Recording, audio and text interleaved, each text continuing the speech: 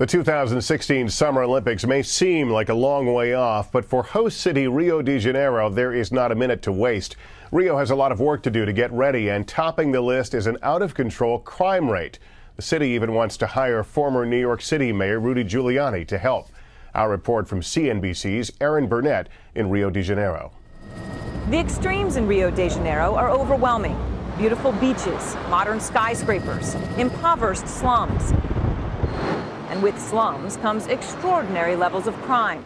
There were nearly 4,500 murders here in 2008, nine times the number in America's biggest city, New York. This community center is in one of Rio's most dangerous neighborhoods, where nearly half the crimes take place.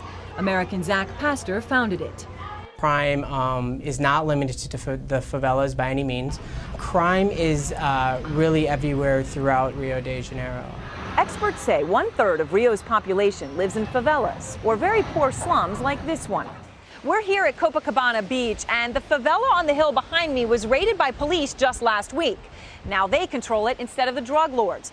But the police are part of the problem. The numbers are staggering. For every 23 people arrested here in Rio, one is killed by the police. In the United States, the comparable number is one person killed for every 37,000 arrested. It gives you a sense of the scale of the problem. Drug lords rule, in part because they're better armed than the real Rio police. They sell marijuana, cocaine, and increasingly crack. According to the CIA, Brazil is the world's second largest consumer of cocaine. The security crisis here a big obstacle to Rio's 2016 Olympics. And the man running Rio's Olympics is betting on Rudy Giuliani to help in final negotiations to hire him as a security consultant in terms of security measures because he was very successful in New York City.